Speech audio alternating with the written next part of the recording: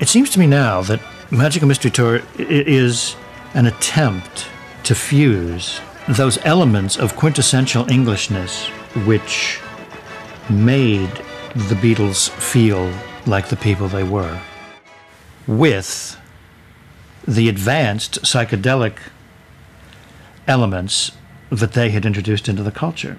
It's a graft.